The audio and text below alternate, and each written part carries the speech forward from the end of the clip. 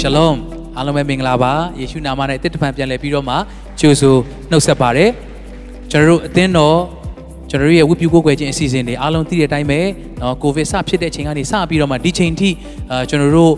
အတူတကွအားရပါရချီးမွမ်းကိုးကွယ်ခြင်းတော်လည်းပဲကျွန်တော်တို့အခြေအနေကန့်သက်ချက်အမျိုးမျိုးကြောင့်ကျွန်တော်တို့အတူတကွဆုံတွေ့ပြီးတော့မှအားရပါရဝိပုကိုးကွယ်နိုင်ခြင်းမရှိခဲ့ပါဘူးသို့တော်လည်းပဲကျွန်တော်တို့နော်အခြေအနေလေးတွေဖခင်ကလမ်းဖွင့်ပေးတယ်ပြင်ဆင်ပေးတဲ့အခါမှာ ဒီချိန်မှာကျွန်တော်တို့ပြန်လည်ပြီးတော့မှတွေ့ဆုံပြီးတော့မှချီးမွမ်းကိုးကွယ်ကြဖို့ရန်အတွက်နှုတ်ကပတ်တော်တူကွခံယူကြဖို့ရန်အတွက်အချိန်နာရီဖခင်ကပြန်လည်ပြင်ဆင်ပေးတယ်လို့ယုံကြည်ပါတယ်။ဒါကြောင့်ကျွန်တော်တို့အသင်းတော်ရဲ့အစီအစဉ်လေးတွေကိုကြော်ညာပေးခြင်းပါတယ်။ဘိုးရင်တုန်းကတော့ကျွန်တော်တို့တပတ်မှာတနင်္ဂနွေနေ့အစီအစဉ်တစ်ချိန်ပဲပြုလုပ်ပါတယ်။၃နာရီမှာဖြစ်ပါတယ်။ဆိုတော့ဒါကကျွန်တော်တို့ကိုဗစ်ယောဂအခြေအနေတွေအရအာကျွန်တော်တို့လူအများကြီးကျွန်တော်တို့အဆင်မပြေသေးတဲ့အတွက်အချိန်ခွဲမှ